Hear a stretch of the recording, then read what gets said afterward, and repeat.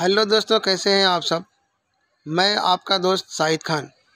Lockdown में चार घंटे के टाइम में नया थ्री सीटर सोफ़ा एक बना रहे हैं। वीडियो में बने रहिए। चलिए वीडियो स्टार्ट करते हैं।